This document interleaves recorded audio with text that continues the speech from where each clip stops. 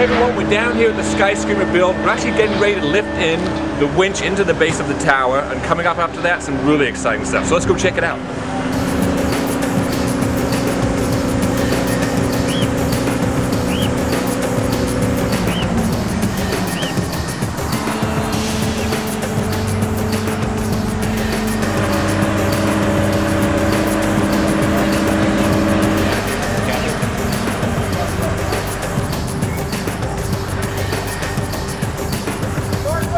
So there you have it folks, first piece of the tower is up.